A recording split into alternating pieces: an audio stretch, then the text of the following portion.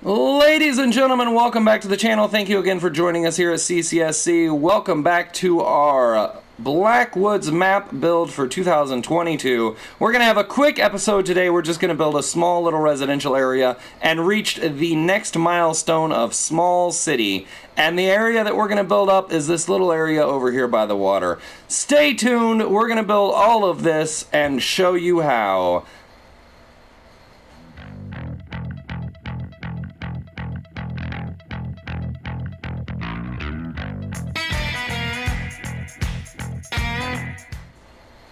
And let's get right into today's episode. So the area that we're going to develop is this little residential area on the hill over here, and this is Emerson Square. And the very first thing that we have already done is rezoned this off to unincorporate the farmland and get the farmland off. Uh, we've also moved Meadow Park's zone up a little bit.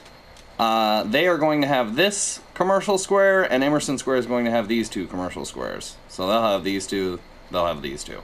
Uh, so we're going to ta tackle uh, just building a small little residential episode. As said, it's going to be um, a quick episode today. Just build a small little residential area. So the very first thing that we're going to do is delete this road here. Uh, it does kind of go with the natural terrain.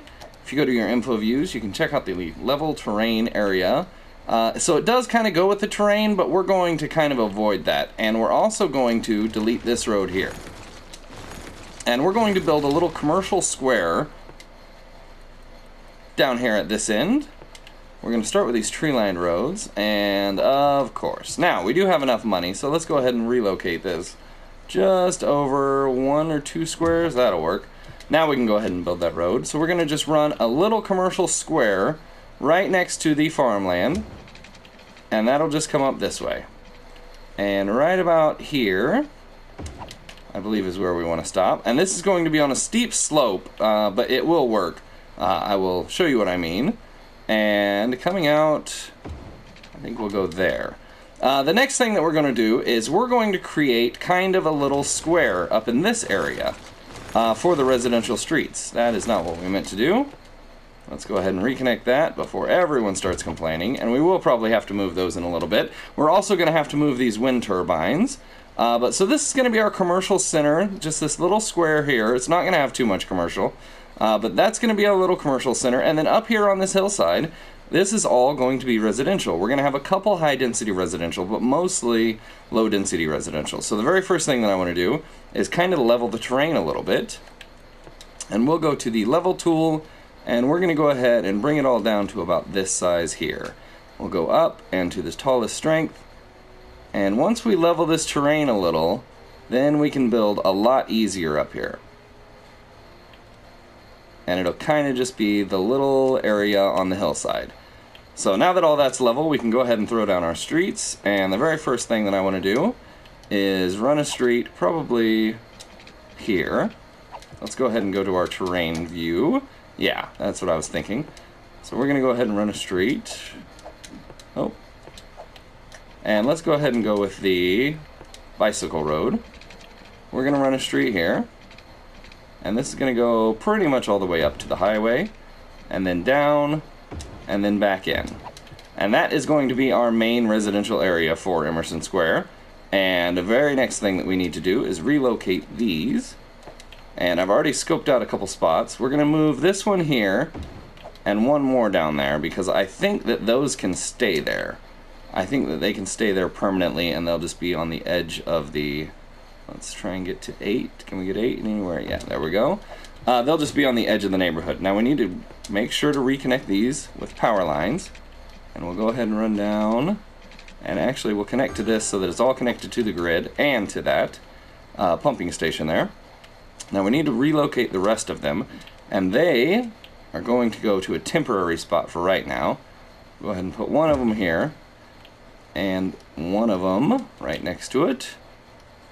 Let's try and get eight if we can. Uh, seven, but that'll work. That's all right. Uh, and that, of course, is connected. All right, so now we need to make sure, is any of this not connected? That is not connected. All right. So let's go ahead and run this here, just to connect that up. And we can run this down here for now and over. Now we can continue our street, and we're just going to bring this down, uh, probably to about here, and then we're going to hook it in. Let's go ahead and go to our curve tool, and hook it into the intersection there. So it kind of has an entrance, it kind of has an exit, but this is just going to be a very small residential area, and this is going to be on the hill, on the water, next to our farmland. Um, that electric should sort itself out, but let's go ahead and bump this up. Three times speed, is all that going away, or are we missing something? I think we are missing something. I don't know what we deleted, but we're missing something. And let's go ahead and run this down to here. And down to there. Let's see if that fixes our problem here. I think it will. Yeah, I don't know what we disconnected. Uh, these are no longer connected. Can we go above this? No, I didn't think so. Alright, so we need to go across here. And is that going to delete anything? That doesn't look like it's deleting anything. Perfect. Alright, so that should work, and of course those are really tall. Those are all going to be temporary anyway. Once we get this figured out, we will uh, remove what we can from the power supply. Uh, but very first, we need to connect this whole neighborhood. So now that's the basis of our little neighborhood. Um, I don't like that street there. Let's go ahead and delete this and then rebuild it. And sometimes that fixes the problem just on its own. Let's go ahead and see if this will work. Yeah, it's a little less steep, but that's really steep. Um, hmm. I think I want to take care of that. We're going to go ahead and delete that, that, that and go to our terrain tool and make sure this is level. Yeah, that might be our problem. Let's go ahead and level that up a little bit, and then we'll run this road over. Yeah, that should take care of our problem. There we go.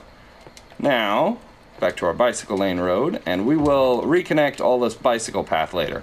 There we go, that's what we're looking for. Yeah, I don't want any big giant... Yeah, that is perfect. Nice gentle elevations. And this back road back here, this isn't going to have any shops on it necessarily. We might have a couple. Uh, so we can go ahead and start zoning off our areas here.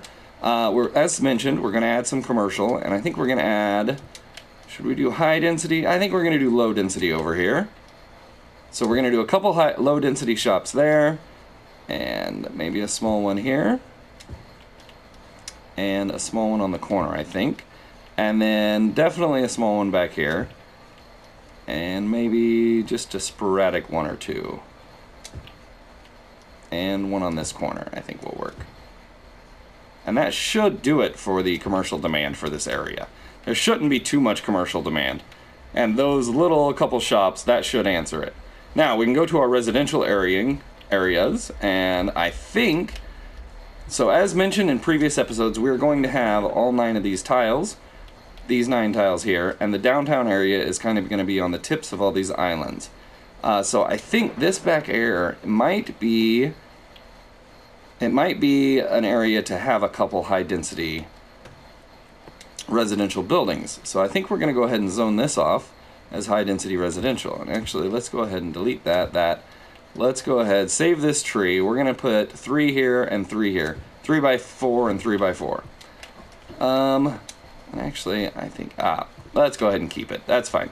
So at the top of this, they'll have uh, high density residential, and it looks like, uh, of course, we need water. So at the top, we'll have high density residential, and then the rest of it will all be uh, low density residential. Let's go ahead and just run this around the street line here real quick and connect back over here, and that should take care of everything. Uh, we're not connected there, which isn't a big deal, but we'll go ahead and do that. And then we can go ahead and delete that. There we go. Uh, not a big deal, but might as well. So, now we are all connected with water, and that we've got a couple high-density residential buildings over there. Now we can go ahead and zone off the rest of this, but this area I want to specialize with a few stipulations. And what I want is self-sufficient buildings. The self-sufficient buildings is a residential specialization that is part of the Green Cities DLC. Self-sufficient buildings, uh, they consume less energy, they produce less garbage, they generate 30% less tax income. But we're doing okay with money. As you can see, we've got the coffers full. We're at $92,000 in the bank, and we're making $3,000 a turn. So I want to go ahead and zone off this entire area here as self-sufficient buildings. And I do not remember if that's going to destroy these commercial buildings or not. I hope not, because I really actually like the way this looks. Uh, this is what I was hoping for, having a little bit of a hillside here. And that's why I only zoned off some of these areas, and I wanted to keep those rocks back there. We can do a little bit more work to detail that and make it look good. But it doesn't look like those commercial buildings are closing. I think that'll be fine. And uh, the residential building there, you can see that demolished because it wasn't a self-sufficient building. So these will all be self-sufficient buildings now, and that is the first thing that you want to do. so, my apologies. But nonetheless, now we can go ahead and zone off a bunch of low density residential. So we're going to go ahead and go to our fill tool. We're going to do this, and let's go to select. I just want on this hillside back here. So we're going to go ahead and do that, and all of that. Then we're going to go ahead and put in a park. And I think we're going to go with the biggest park. Um, let's go ahead and look. Park with trees. Yeah, that fits in almost perfectly. So let's go ahead. Ooh. Should we put this? I think we should put this somewhere over here, yeah. Uh, no, I don't think it'll handle the hill there. We could put it here. Huh, that's actually not a bad idea. Utilize the uh, space next to the highway and have a park. That's really not a bad idea. Um, I don't mind that. I think that'll look pretty good actually. Let's go ahead and do that. Uh, can we get... Yeah, let's put it a little south. Let's take a look at this. Yeah, that looks good. I like that. And we might be able to connect with a park path under the bridge over to this residential area of Garland Square that we're going to build in later episodes. Yeah, I like that. I'm good with that. That works. Nice little park right up against the uh, the riverside there. That looks good. I am very happy with that. So we can go ahead and zone off. Uh, let's go. Let's go with the select tool. Let's give a little bit of space here, but we'll put a house there, and then we'll go to the fill tool and we'll put a couple of houses here, here, here, here, and here. Uh, we'll leave a little space between the high density and the uh, low density residential buildings. But and now that that is complete, we can probably delete some of these power lines. Oh, so let's go with this. Yeah, this is all connected, so we can delete this and this and this. So that's a start. And then let's finish zoning. We'll go to our fill tool and zone off all of those. And we've only got one little section left there. So we can go ahead and just delete this power line, zone that off, and then reconnect the power. And there we go. So that is our little residential area of Emerson Square. We've got uh, we've got quite a few houses. I wanted to keep it kind of away from the farmland. I wanted it to be far separate enough. So we've got a few houses back here on this more or less level strip. Uh, all of these are self-sufficient buildings. We need to add a couple more parks before all this fills in, and I think we're going to go ahead and just do my favorite go-to, a basketball and a tennis court. Let's go ahead and put the basketball there. And can we put, no, of course not. We could put the tennis court here. Let's put it there. I like that, that works with me. So this whole corner is tennis court, basketball court, and park. There is a house building up right in the middle there. Um, let's leave them. If they can stay there, that's cool with me. I'm alright with that. Uh, we could destroy them to give it more of an authentic look, but nonetheless, that's fine. Uh, we are now going to connect this park over here with a nice little river walk behind all these buildings. And we'll go to the straight tool. And so all of these houses back here, now they have a, a little area for people to walk by. And let's go ahead and take this down and then remove this zone. And there we go, that tree will stay in place. So all the people can walk around by the river and we can do a little less dramatic of a turn here because that takes it down by the water quite a bit. Let's see if we can just get a straight line here. Oh, come on now. What is this? Alright, so now we should be able to get kind of a straight line here. There we go. So that's a little less down by the river. We could go ahead and terraform, and let's go ahead and do that. We're going to delete this again and put it right back in just a second. We'll go to the level tool, and we want that, and let's just bring all of this up here. And then, so you can see it lifted the park path, and now we can connect that. So now no one has to go down a steep hill that they would not survive. Uh, you can see we're on top of a turbine here. So that looks much better, and you can see people are already utilizing it. Fantastic. Uh, so we could go ahead and do the same on the other side, but let's go ahead and finish this park path. Let's go ahead and terraform. Oh, that is not what we wanted to do. Level terrain. Uh, let's go ahead and terraform a little bit more to connect the rest of this park path up over here and you can see we're getting a little close to the water but it should be fine. We're not going to have a K-wall here because of how close it is to the water. But let's go ahead and go with the curve tool and kind of bend this around back here. And there we go. So now there is a nice little park path all the way around the back of these houses that the people can walk and get up close to the river walk. Now we could also run another park path. So I typically like to run park paths uh, in between areas of housing kind of like this. But it looks like if we do that now, we're going to destroy a house. Uh, no matter how we do it, we're going to destroy at least one house.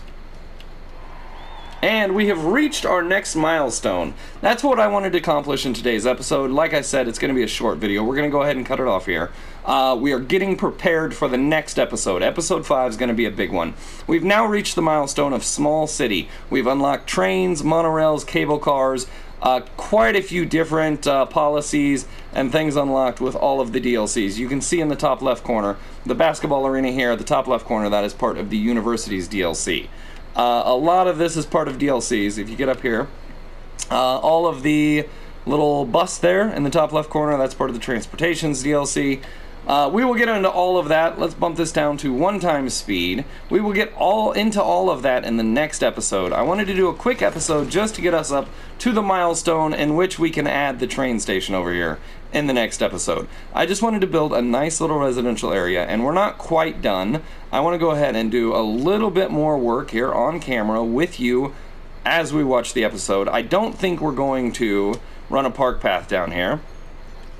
Um, unfortunately, that house has already been built, and I think that's fine. We're just going to put a few more trees back here to make it look a little bit more natural. And we're going to go ahead and do something like that. And then we can put a few more trees over here, back in this area. And then we want to do pretty much the same thing with the oak trees. This whole area is just pretty much oak and evergreen, and you're just kind of blending everything in and making it look natural. And if there's obviously anything out of sorts that you don't like, you can go in and delete. Any Sometimes they build things too close to the water. Let's go ahead and remove that. Let's go ahead and remove that and that. Oh, and definitely these two. And that should be fine. That looks nice and natural, nice and level. Uh, terraforming, very important aspect of the game, as mentioned. This whole little area here, I, I, love it. This is a great little area. We've got just a couple buildings to make it stand out. These two tall buildings here are residential buildings. They are far away from the parks, and that is one downfall. I wanted to put a park kind of in the middle here, but we zoned off too much to start, so we put the park down here. Uh, they are too far away from the parks. I would rather have the high density residential closer to the parks so that people can play. Uh, nonetheless, I really like this, uh, this business area here the whole hillside. This is it's hard to get good looking areas just on hillsides like this just with the regular gameplay. But if you give enough space, you can see that the game will actually kind of accommodate. Now we can go in and soften the terrain here just a little bit. And get this looking a little bit better. But it really, they nailed it. They did a great job. And that's about it. That's all that we can do. Now we can add a couple trees and if you want, you can add some moss uh, to hide a lot of this. So we'll go ahead and add a few trees, and we're just going to add them with our hand here. And this just kind of hides a little bit of the ridges that you're trying to cover up. So now look at it, and you don't notice a lot of the ridges so badly. We can throw a couple more trees here, and here. And now you don't notice those ridges at all. It looks really good. This is a fantastic looking uh, commercial area, if I say so myself. Now, we can go ahead and soften this terrain a little bit, though, because this does not need to be so jagged on the back of these houses. So we'll soften this up a little, and that looks much better. Uh, but I think we're going to go ahead and level terrain to the length of the houses and get it a little more smooth and then soften this area here and then that should make it look even a little bit more natural. Now as said uh, so many times in this series terraforming is a huge part of the game and sometimes with PS4 with console with Xbox it's a huge part and you can't get it just right. So just add a tree. It's cool. Don't worry. No one will notice. It will look fine. Add a couple trees and boom. That looks great. That looks just fantastic Add a few more trees back here to cover the foreground. Maybe one in the backyard. And there we go. That looks great. No worries. Easy peasy. Ladies and gentlemen, thank you for joining the episode. As mentioned, just a quick episode today. We got our population up to small city milestone. Uh, as you can see, we have plenty of work left to do. Always a pleasure. Thank you for joining the channel. Please like, share, and subscribe, and we'll see you next time.